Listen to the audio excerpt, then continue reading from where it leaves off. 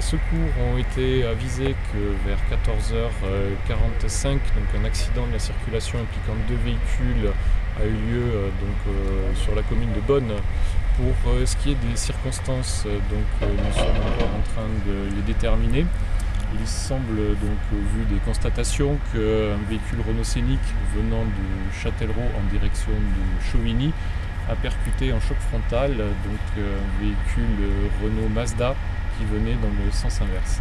parmi euh, les passagers, donc, se trouvaient à bord du Renault Scénic une mère de famille avec ses deux enfants de 3 ans. À bord euh, du Renault Mazda donc, se trouvaient trois personnes âgées entre 64 et 83 ans. Les trois passagers de la Renault Mazda sont décédés, deux avant l'arrivée des secours et un pendant les opérations de secours.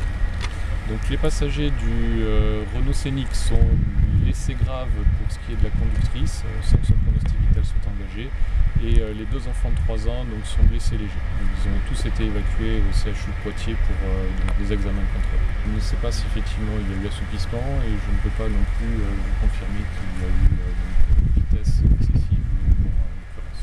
Pour l'instant, nous sommes en train de déterminer les, circonstances exactes de l'accident.